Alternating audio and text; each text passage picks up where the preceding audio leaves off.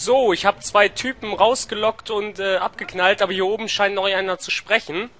Aber wir sind auf jeden Fall schon weiter als zuvor. Deswegen traue ich mich mal eben nach oben. Ganz vorsichtig, um das Gelände hier zu begutachten. Ja, wir könnten zur nächsten Deckung da springen. Nach Fliege, lass mich. Ähm, Was ist los mit dir? ah, Fliege, lass das. Ah, da sind sie. Okay, hat äh, eine gefühlte halbe Stunde wieder gedauert, nur als Zeitangabe. Oh nein, da kommen ja noch viele mehr.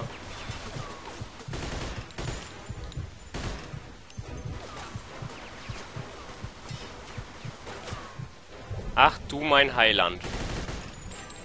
Ich will nicht mehr. Ich habe jetzt schon wieder keine Lust. Aber ich, ich glaube, wenn wir zu dieser Tür, die da hinten blinkt, kommen, dann äh, speichert der bestimmt. Deswegen schaffen wir das jetzt. Bin ich mal ganz stark für. Und ich bin so ein Trottel. Bevor ich aufgeladen bin, gehe ich schon wieder aus der Deckung raus. Komm, zeig dich doch bitte. Komm, komm. Dankeschön. Dass die immer gleich ihre Kopfbedeckung verlieren. das ist mal irgendwie lustig. Ähm, ja. Ich glaube, hier ist keiner mehr. Dann können wir uns doch mal in die Höhle des Löwen gleich wagen. Habe auch eine Waffe, neu, eine neue Waffe auf dem Weg aufgesammelt.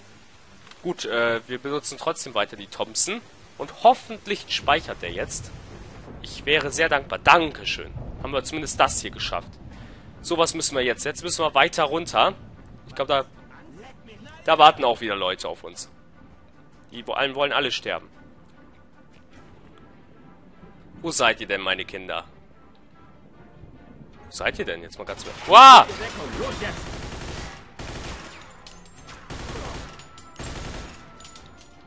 Irgendwie kann ich mich an das Gelände hier erinnern. Waren wir hier schon mal? Oder erinnere ich mich aus dem letzten Spielgang?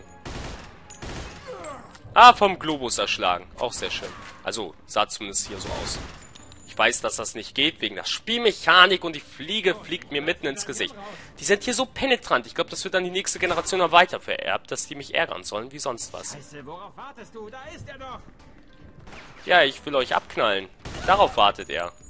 Dass er abgeknallt wird. Mann, wollen hier viele ihr Fett weghaben, ey. Wer hat, dass der Carlo so viel Angst vor mir hat, dass er gleich 20.000 Killer arrangiert, ne? Oder engagiert? Engagiert. Ich glaube, engagiert ist richtig. Nee, oder arrangiert? Ja, ihr seht schon, meine Gehirnzellen sind voll weggesoffen. Ich habe Mühe, vollständige Sätze zu bauen. Aber wir schaffen es trotzdem. Da bin ich mir hoffentlich sicher. Ja, du bist auch weg. Und da hinten wartet noch einer. Irgendwie halb in der Deckung versunken, aber nicht so richtig. Und ich lade hier extrem oft nach, obwohl das nicht nötig wäre. So. Das hier ist eigentlich auch noch recht einfach, aber gleich kommen wir zu Carlo. Und Carlo ist echt eine harte Nuss. Und die hier auch, wenn sie plötzlich aus dem Nichts auftauchen. Nee, nee, wartet mal bitte, bis ich mich aufgeladen habe. Und dann kannst du es nochmal versuchen. Aber dann kill ich eher dich. Mit einer Schrotflinte, wie süß. Was ist das denn? Singularity oder was? Ja, keine Ahnung, wie ich darauf komme. Wow! Ja, nicht mehr nötig. Jetzt seid ihr alle weg. Ach nee, da lebt noch einer. Was die teilweise überleben, wenn ich den mitten den Kopf schieße eigentlich. Also zu, zumindest gefühlt. So, viel mehr Feinde können das eigentlich nicht mehr sein. Ach doch. Einer auf jeden Fall noch, der da. Aber ich glaube, das war's dann tatsächlich. Weil wir jetzt, äh...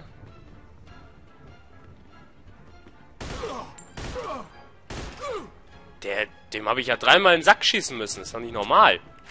Und der hat nicht mal geschrien. Ich glaube, da ist nix. Frau, du.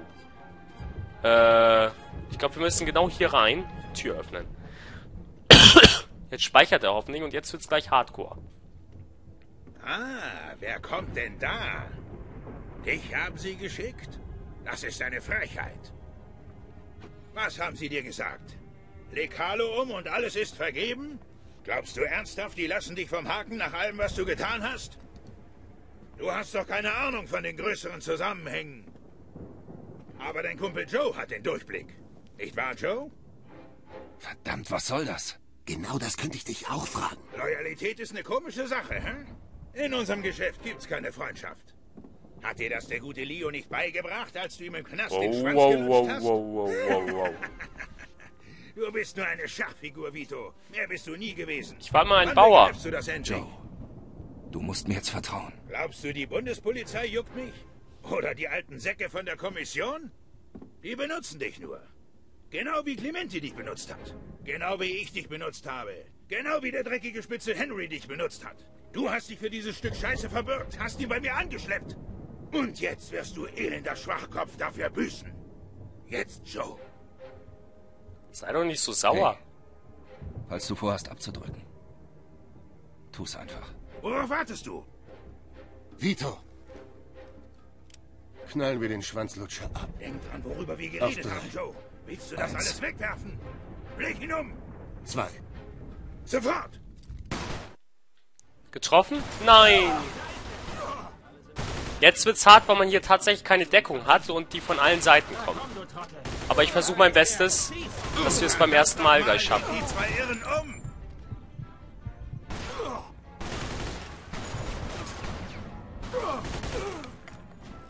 Idiot, du hast keine Chance. Alle kannst du nicht umlegen. Doch, doch, kann ich. Du bist komplett wahnsinnig. Ich freue mich schon drauf, wenn du krepierst. Ich mich nicht so. Weil ich gerne leben wollte. Müssen wir jetzt eigentlich vorrücken zum guten... Weil da irgendwie ein Ziel angezeigt wird? Ja. Ah, jetzt war ich auf eine falsche Taste gekommen. Los, let's mal. Sie sind nur zu zweit. Ja, aber was für zwei?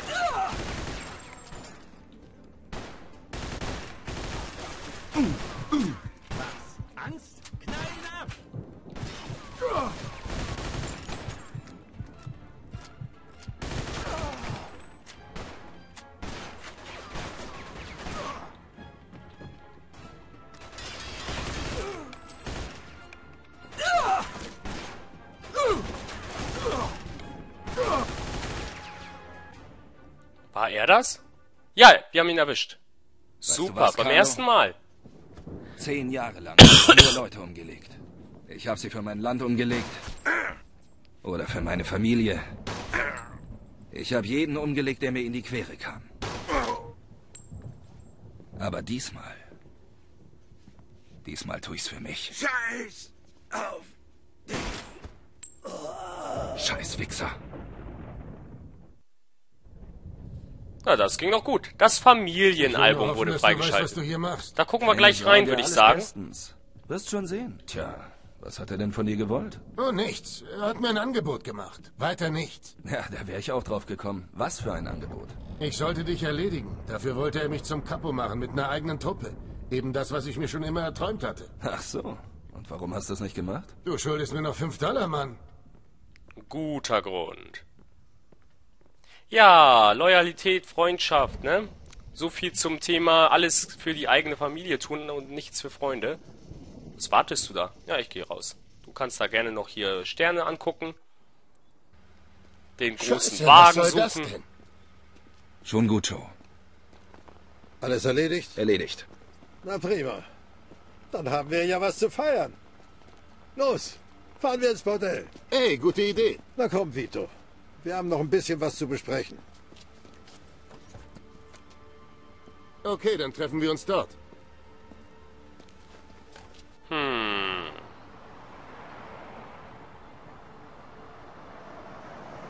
Was das wohl Okay. zu bedeuten hat. Was ist das große Geheimnis?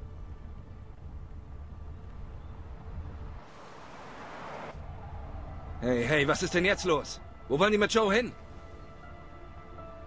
Sorry, Kleiner. Die Sache läuft ohne Joe. Tja, so ist das. Aber Glück gehabt, Vito, du lebst noch. So kann man es natürlich aussehen. Und jetzt, meine lieben Freunde, jetzt seht ihr gleich die Credits und den Grund, warum ich mich über das Ende von Mafia 2 so aufgeregt habe. Jetzt sofort, jeden Augenblick, kommen die Credits, glaube ich.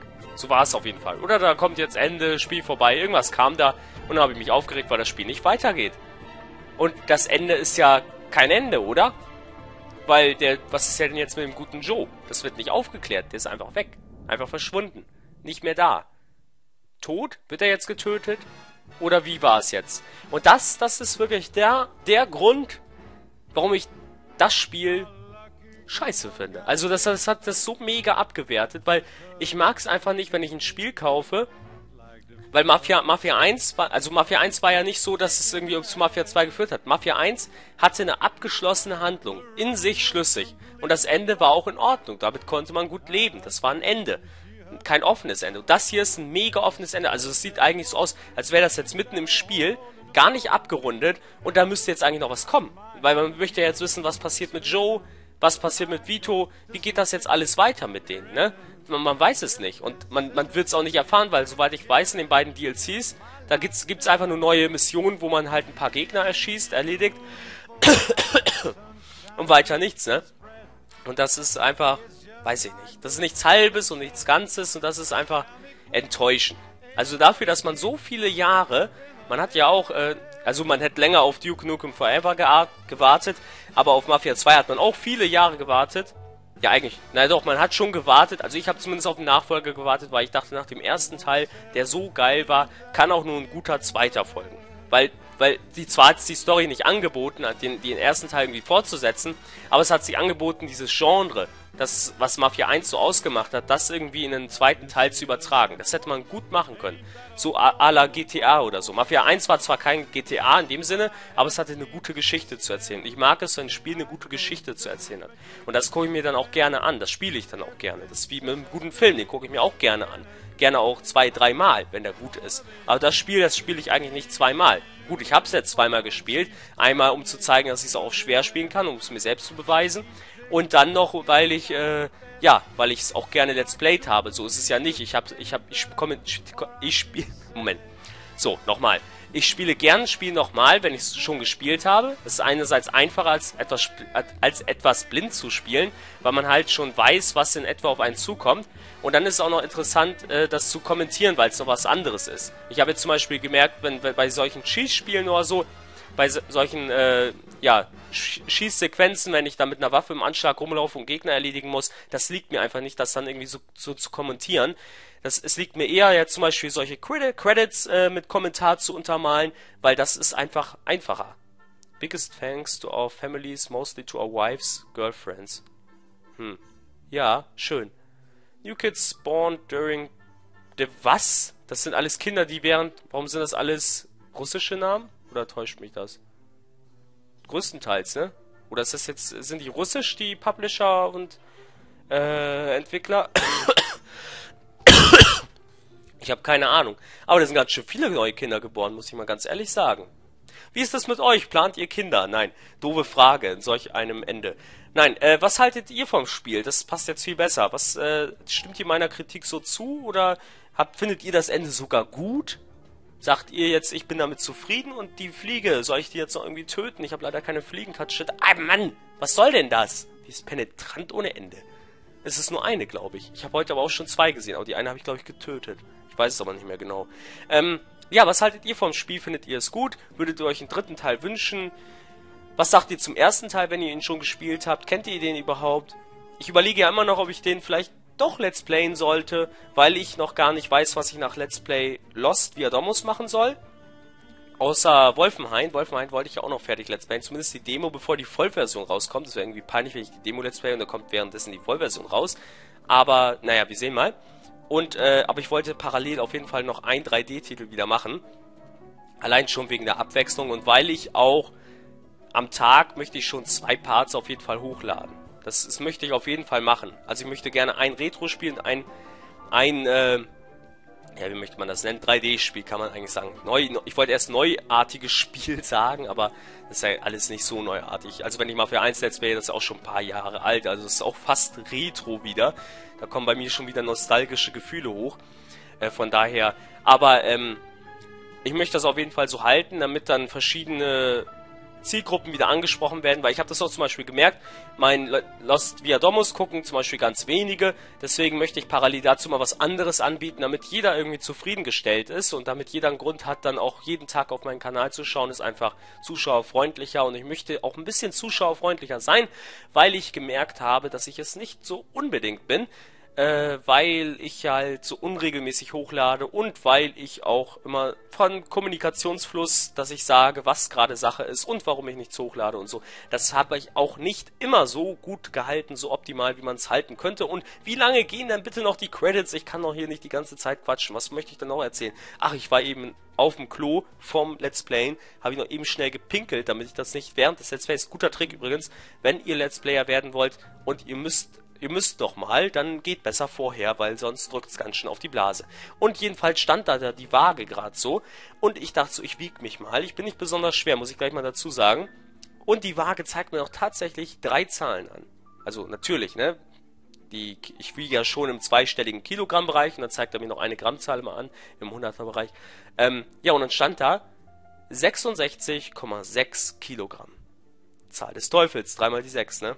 Also für alle, die jetzt nicht so genau zugehört haben, ich habe jetzt nicht Sex gemeint, also den Bettsport, denn ich meine eher das lateinische Sex, was dann für Sex steht, für das Zahlwort.